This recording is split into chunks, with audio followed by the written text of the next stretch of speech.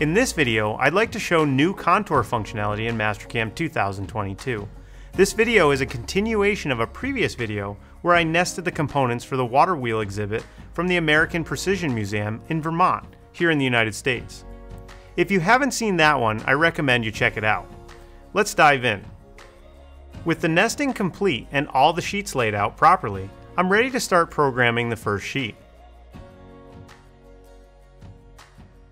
Go to the Toolpath tab and launch a contour operation from the 2D gallery. There are some small but highly requested enhancements in Mastercam's 2022 Contour Toolpath that I'm going to touch on here. Using a closed face loop selection mode, I'll chain all the components on the first sheet, going from the left to right.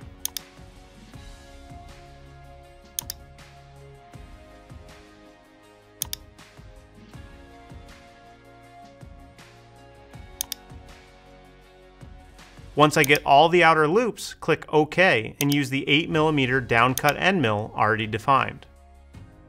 Since my spindle maxes out at 18,000 RPM, I'll use a feed rate of 7,500 mm per minute and a plunge of 2,500. I want to use a spring pass on this toolpath as well, so navigate to the multi-pass tab and specify one finish pass as well as one spring pass. This should leave the most accurate and best finish possible.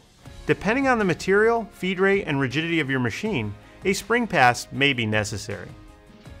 Leaving the rest of the settings at default, proceed to the linking parameters. Since the plywood is 19mm thick, set the top of stock to 20mm, so we have a little extra clearance on there to account for variation in the sheet goods. Generate the toolpath.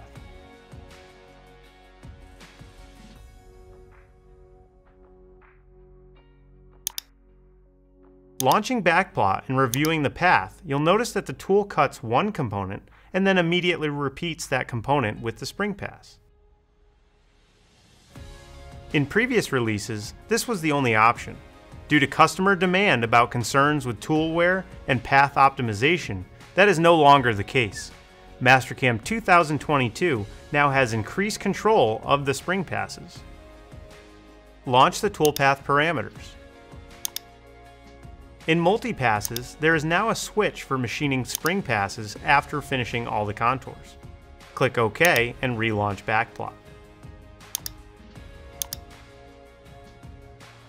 Now the spring passes are occurring after the initial passes.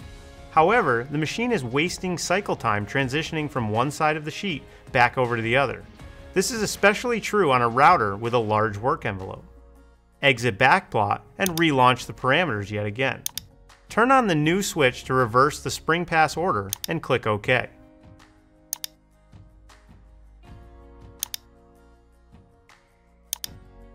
This time, when running backplot, the efficiency gains are clear. The wasted transit time is all but eliminated. There is another issue to address, and that is the lead-ins and lead-outs that are gouging neighboring components. This is where some other new functionality in Mastercam 2022 is useful relaunch the parameters, and go to the lead in out page. Change this to a 5 degree profile ramp, and there is now the ability to also use arcs and line length in conjunction with profile ramp. In prior releases, this was not supported and was requested by many of our router users, or those exclusively using control compensation. A linear lead-in or G1 move is often required to allow many machines to cut properly when using control compensation. Let's set that line to half the diameter of the tool and shut off the arc moves.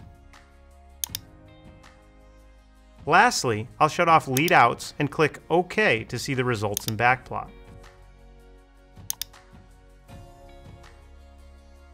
The tool now leads in above and clear of the part on a planar G1 feed move before ramping down and following the proper profile. This now makes profile ramping compatible with control compensation. There is one last related issue on these sharp interior corners on this notch.